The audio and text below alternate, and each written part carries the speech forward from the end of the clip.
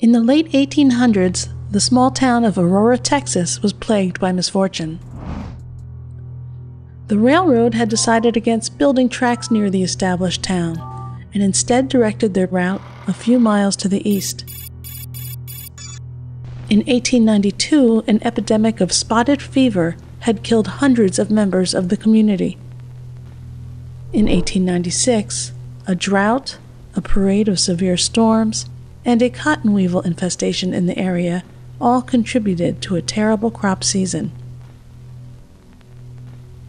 Truth be told, the small town and its struggles were most likely not on anyone's radar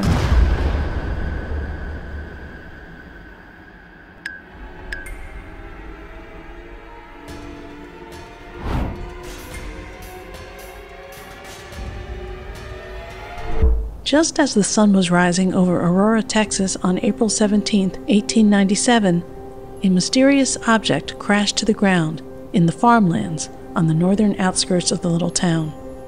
Despite the early hour, there were witnesses to the event. A news article published in the Dallas Morning News described the airship's crash.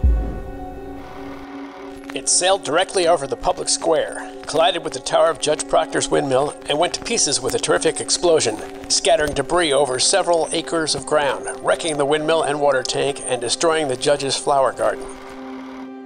The article, written by S.E. Hayden, goes on to explain that there was, in fact, a pilot of this mysterious airship. The pilot of the ship is supposed to have been the only one on board, while his remains are badly disfigured, enough of the original has been picked up to show that he was not an inhabitant of this world. Mr. Hayden goes on to report that local resident D.J. Weems claimed that, in his opinion, the pilot was a native of Mars. In or around 1856, Carl August von Steinheil and Leon Foucault developed a process that greatly advanced the capabilities of telescopes. Coating glass telescope mirrors with a layer of silver made the mirrors much more reflective. Once this process was perfected, very large silver on glass mirror reflective telescopes were built. In 1877, Italian astronomer Giovanni Schiaparelli, using one of these telescopes, turned his attention towards Mars. While drawing up a map of Mars, Schiaparelli observed what he believed to be a network of channels on the surface of the planet. Because the Italian word for channel is canali, people misinterpreted Schiaparelli's findings, and the channels he observed quickly became reported as canals, which the public assumed had to be built by intelligent beings. For better or worse, his discovery had captured the public's imagination and sparked an almost fanatical interest in the possibility of life on Mars. Newspapers were filled with stories speculating about what people were like on Mars. It was assumed that they were much more intelligent than us, and that they were most likely very hardworking. Those canals really were impressive. Professor Percival Lowell was an astronomer and the founder of the Lowell Observatory in Flagstaff, Arizona. He was also a respected businessman, author, and mathematician. In his book entitled Mars, Lowell wrote of the canals and the beings who constructed them. A mind of no mean order would seem to have presided over the system we see a mind certainly of considerable more comprehensiveness than that which presides over the various departments of our own public works. Party politics, at all events, have had no part in them, for the system is planet wide.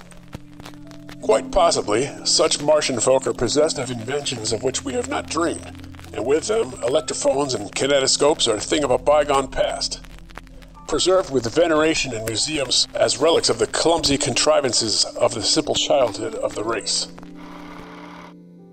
Some of the world's greatest minds of the day, including Marconi and Tesla, were busily trying to send a signal or a message to Mars.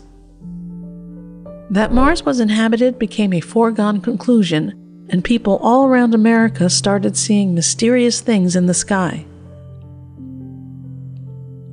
For the most part, these quote unquote airships, as they called them, the term UFO would not enter the lexicon for some time were cigar shaped, metallic, and some reportedly had wings. Mars, Martians, and mysterious airships were daily topics for decades in the newspapers across America. There was speculation, hypotheses, and a whole lot of Mars related science fiction. This fascination with Mars went on for nearly 70 years. And then, one day, everyone's attention shifted to an incident that occurred in another small town Roswell, New Mexico. But that's a story for another day.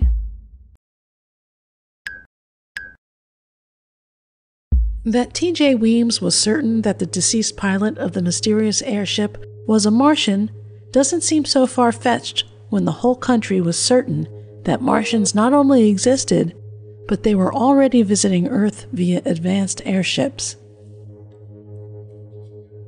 There were many mysterious airship sightings starting in 1896. This was a time when the only thing flying in our skies were birds and an occasional hot air balloon. These people were definitely seeing something in the air.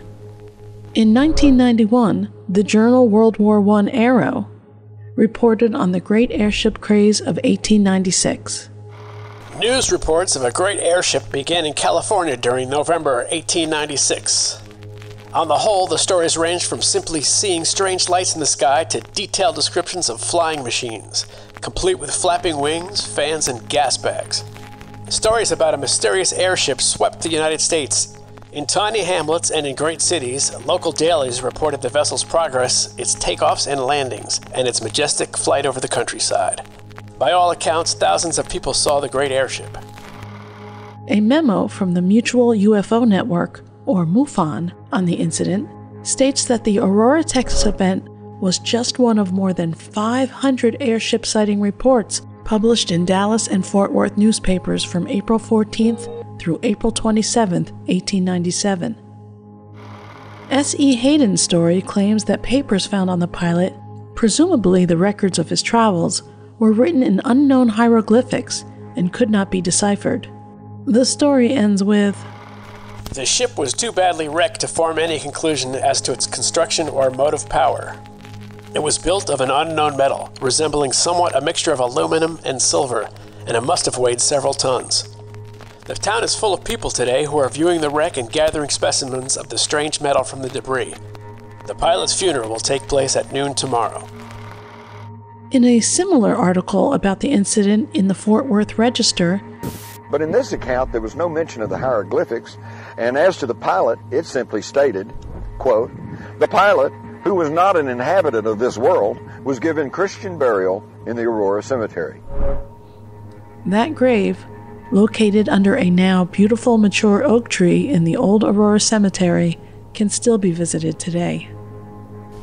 Through the years, Hayden's story has been scrutinized and judged by many to be a hoax or a prank and some even thought it could be an early example of a government cover up. For most of the world, the Aurora, Texas incident faded from their memories. 76 years later, however, Aurora would once again make headlines. The Aurora, Texas incident gained renewed interest in the 1970s, largely due to the efforts of Bill Case and Jim Marrs. In 1973, Bill Case was both the aviation writer for the Dallas Times Herald and the state director for MUFON. After being told the story of the Aurora crash by Hayden Hughes, a colleague at the International UFO Bureau, Case wrote a series of articles on the incident for the Dallas Times Herald. Through his investigative work, he discovered that some of the family members of the original witnesses were still alive and willing to come forward to tell their stories. Jim Marrs was a journalist and author with an interest in UFOs and conspiracy theories. He read with great interest Bill Case's series on Aurora. And in 1973, Marrs published his own article about the Aurora incident, which brought it to the attention of a wider audience. The new witness testimony was very compelling. One witness, Mrs. Mary Evans, 92, was 15 years old at the time of the crash. I was only 15 at the time and had all but forgotten the incident. until it appeared in the papers recently. We were living in Aurora at the time, but my mother and father wouldn't let me go with them when they went up to the crash site at Judge Proctor's well. When they returned home, they told me how the airship had exploded.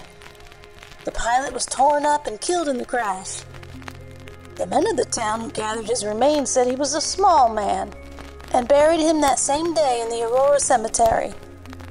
That crash certainly caused a lot of excitement. Many people were frightened. They didn't know what to expect.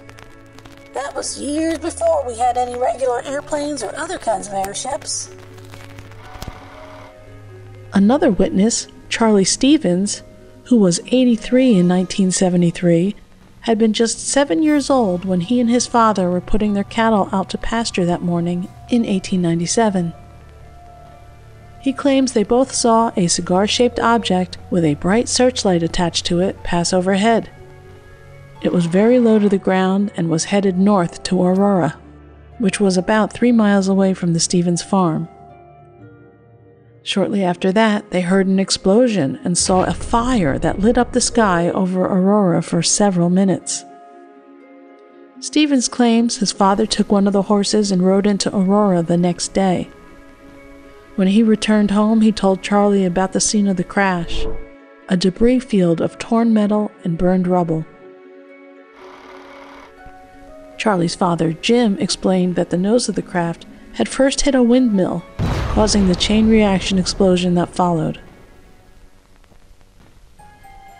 The revival of the stories surrounding the mysterious crash, along with the newly reported eyewitness testimony, prompted MUFON to conduct a rather extensive and thorough investigation. And although more than 75 years had passed since the crash, they were able to find some very puzzling new evidence. In 1973, investigators reconstructed the events of the sightings and were able to locate the crash site. Using metal detecting equipment that was modern for its day, along with eyewitness accounts, they were able to find and retrieve pieces of metal of various sizes and types. Bill Case wrote From all indications, there was definitely an explosion.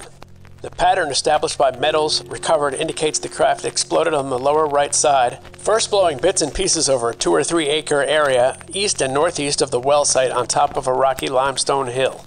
Immediately, the rest of the craft exploded, throwing other samples to the north and west.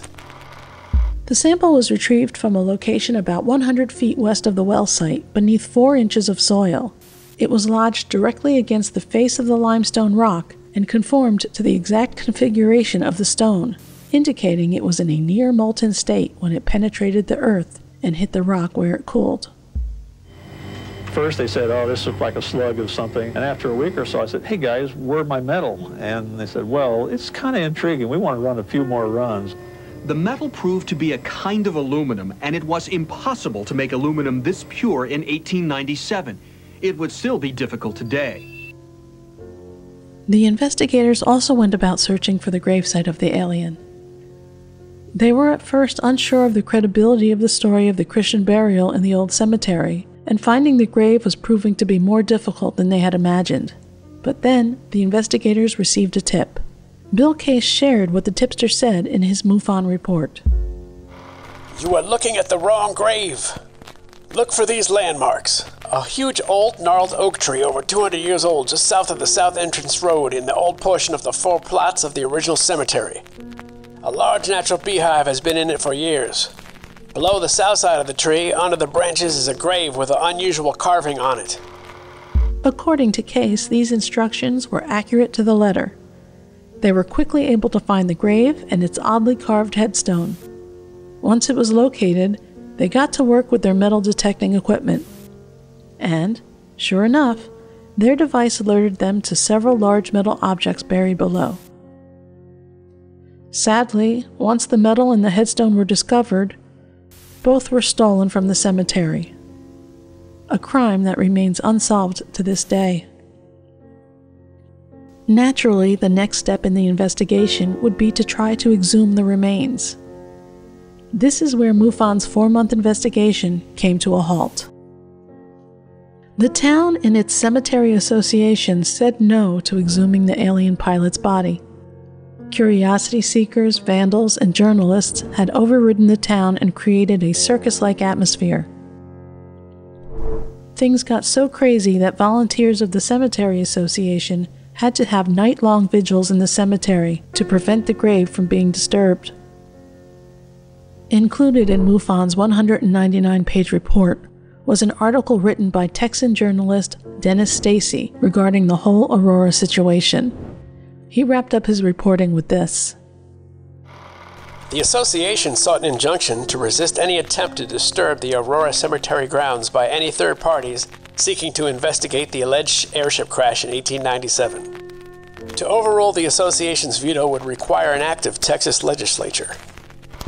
Such an act, MUFON officials acknowledged, would incur legal fees that were more than the organization could bear. Well, let's face it, John. UFO investigators have been fighting an uphill battle to gain credibility for decades now. Although we may think the evidence is overwhelming, the people who'd have to authorize the digging are far more conservative. And the end result of that, I suppose, is uh, this could remain a mystery for another hundred years. Could be.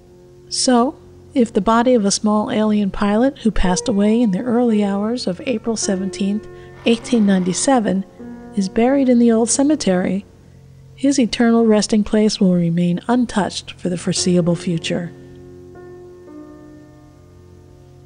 Today, the town is still somewhat divided when it comes to its history regarding the crash. Some embrace the legend good naturedly, while others condemn the story entirely. There is one thing for certain something or some things were flying around in the skies in the late 1890s and beyond. During this time, there were airships in early development by Earthlings in various countries around the world. However, none were advanced enough to make the trip from California eastward by way of Aurora, Texas. Unless, of course, it was a government cover up after all. In the description below, you'll find links to MUFON's report on the 1897 Aurora, Texas incident and books written by Jim Marrs and Percival Lowell. Also, just for fun, I'm including a link for an independent movie from the 1980s that is very loosely based on this event. Thanks for watching this episode of Getting Spooky. If you enjoy this sort of thing, please like the video and leave a comment down below. If you have something spooky you think I should highlight here, let me know. Until next time, be safe and get spooky.